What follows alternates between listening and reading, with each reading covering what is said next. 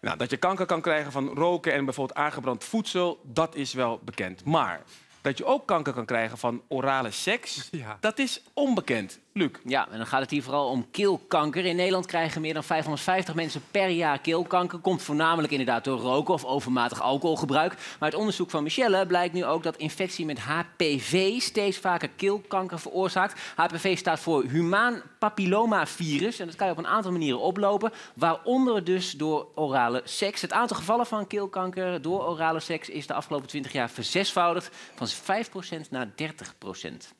Uh, Michelle Rietberger, welkom. Um, jullie hebben onderzoek daarna gedaan. Uh, wat was de aanleiding eigenlijk voor het onderzoek?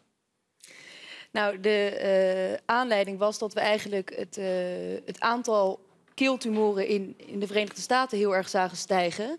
Eh, en wij waren erg benieuwd of dat dus ook in West-Europa en in dit geval in Nederland zo het geval was. En dat was dus zo, zelfs vertwintigvoudigd in, in al die jaren. Hoe, hoe, waar komt dat vandaan? Want ik neem niet aan dat ze vroeger, um, hoe zou ik het netjes zeggen, minder orale seks hadden dan nu. Ja, we denken dat het tweeledig is. Uh, er wordt natuurlijk een deel van die keeltumoren wordt veroorzaakt door roken en overmatig alcoholgebruik. En het andere deel wordt veroorzaakt door dit humaan papillomavirus, HPV. Uh, we zien bijvoorbeeld in de Verenigde Staten dat mensen heel veel minder zijn gaan roken, waardoor relatief dus het aantal HPV-keeltumoren toeneemt. Maar ten tweede zien we ook dat mensen de laatste decennia inderdaad meer uh, sekspartners hebben gekregen. En dan vooral orale sekspartners, dat dat aantal toeneemt. Wat een risicofactor is voor het ontwikkelen van de, dit type keeltumor. Laten we even heel praktisch blijven. Maakt het uit of je orale seks beoefent bij een man of bij een vrouw voor het krijgen, althans voor het potentieel kunnen krijgen van keelkanker? Nou, uit, uit, mijn onderzoek blijkt en uit meer onderzoeken blijkt dat het meer bij mannen voorkomt dan bij vrouwen in een verhouding 3 staat tot 1. En wij denken dat dat te verklaren is doordat het virus in een uh, hele hoge frequentie voorkomt in de baarmoederhals. Ik moet even slikken van dit verhaal. Ja. Ja, ja. Ja. Ja. ja dus, dus, dus wij bef, boffen maar dat, dat... Ja, nou ja, sorry, lang. Dat, uh... ja. Die hadden we kunnen verwachten, nee, dokter. Nee, nee, nee. nee maar dus, als, als de man het bij de vrouw doet, dan is de kans groter dan dat wanneer de vrouw het bij de man doet. Nou kijk, dit is, nog, dit is een hypothese. Dus dit is nog niet zo onderzocht. We zijn natuurlijk heel benieuwd of het ook zo is. Ja, dat is handig voor thuis. Dan, uh... Maar, uh, nee, maar goed, we, we, denken dat het virus heel hoog is in die baarmoederhals... en dat het daarom meer bij mannen voorkomt. Maar pleit jij nou voor geen orale seks? Kijk, dat is heel moeilijk om nee. te zeggen. Ja of nee? En, uh, ja, ja daar, of nee? Ga, daar ga ik zeker geen uitspraak over doen. Je kan oh. niet zeggen als je orale seks uitvoert... dat je ook sowieso dat virus oploopt. Nee, maar het kan wel. Het, de, er is een kans. Zo. Kijk, je, je, dan moet degene bij wie je dat doet ook met HPV besmet zijn. Ja. Jij moet er gevoelig voor zijn en dat overnemen. En uiteindelijk zou dat virus ja, ja. zich weer in een maar tumor hoe weet je dat allemaal ja. dan? Hoe weet je dat? dat? Dat kan je niet weten, maar wat misschien wel een geruststelling is... is dat het maar bij heel weinig mensen het geval is. Okay. Wat is weinig? Nou, om het in perspectief te, te brengen... Uh, nee, ja, het is een beetje een ongemakkelijk gesprek, want iedereen... voelt nee, nee, spanning hier, nee, maar ik voel aan tafel dat iedereen zoiets heeft van... De angst slaat toe. Oh jee. En dat is zo vlak voor het weekend. Ja, precies. maar goed. Ja. Nee, goed. Om, om het in perspectief te brengen, er, er komen per jaar 550 keeltumoren voor in Nederland. Ja. Hè, op een bevolking uh, van 17, 18 miljoen. En okay. daarvan zijn er 200 door HPV veroorzaakt. Okay. Maar is dat een soort van toeval dan? Dat, dat het toevallig dat het een heeft het ander aangewakkerd of zo?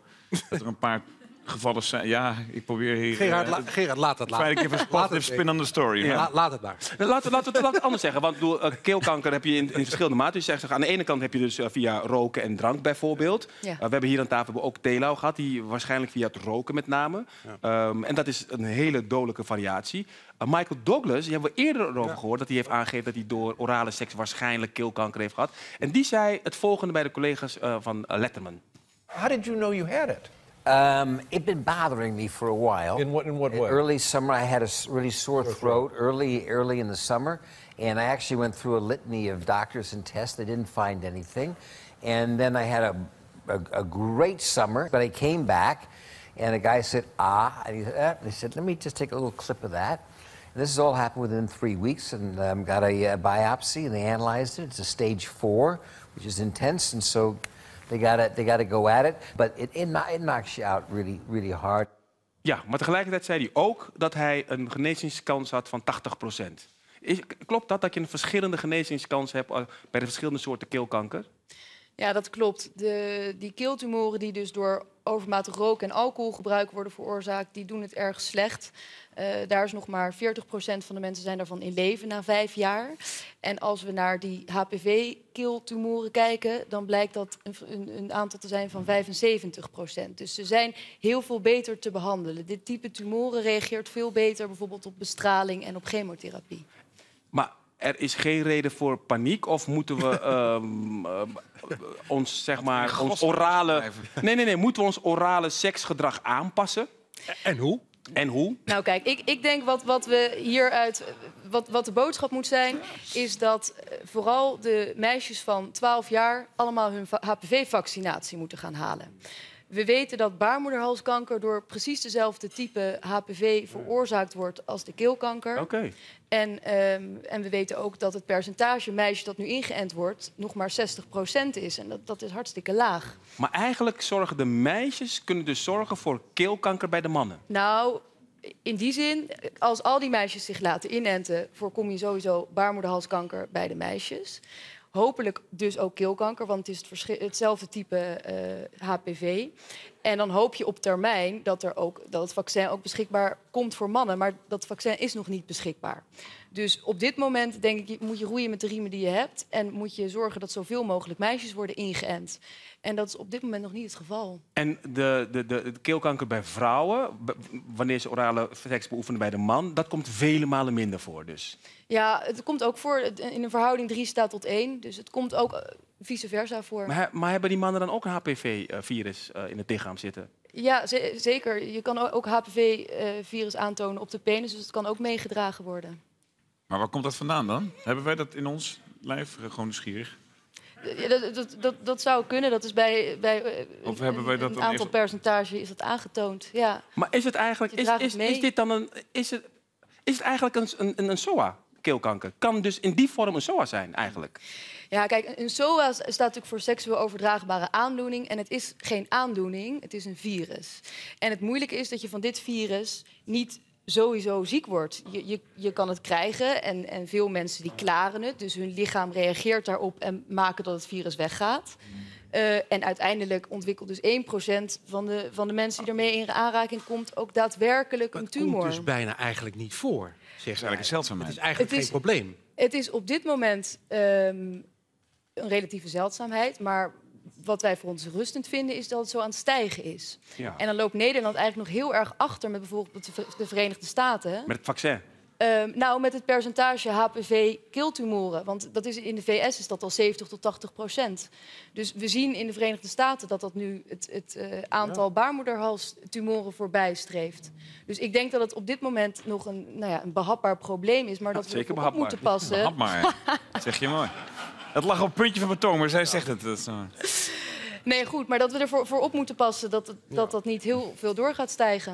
En qua, qua, qua, preventie of wat dan, want je kan, het niet, je kan het niet onderzoeken, je weet het gewoon niet. Het is of het, het niet doen en gewoon het helemaal geen risico lopen, of je, doet het, je blijft het doen en je loopt een heel klein risico, maar het risico neemt wel toe. Dat is eigenlijk de conclusie van ja. het verhaal. Ja, en je kan die HPV kan je ook nog aantonen in, uh, in, je, in sputum, zeg maar. In het, uh, in, het in de mond. Ja, in het speeksel. Oh. Uh, dat is bij zo'n... Maar dan krijg je dus ook van zoenen? Kan het dus ook dat, al? Dat zou, ja, dat, dat, dat wordt... Zoenen is ook al een probleem. Dat zou... Wat? Wat een naar weekend wordt dit. ik dacht dat dit een vrolijke talkshow was, uh, Humberto. Ja, nee, maar ik goed. Dat thuis niet maar kijken. even nee. dus in, het zit nee, ook in je speeksel al. Nou goed, Ja, in die zin, nee, je hebt het over, over uh, preventie en detectie. Is het bij zo anderhalf procent van de jongvolwassenen zit het in het... Zit het in het speeksel, is het, is het detecteerbaar. Maar wat daar weer een, een keerpunt aan is, is dat mensen het dus opruimen. Dus bij, na een jaar is het bijna bij niemand meer te vinden. Dus dat, dat is het moeilijke van dit virus. Ja. Michelle Rietbergen, ik uh, dank je hartelijk. Nou, dit orale betoog.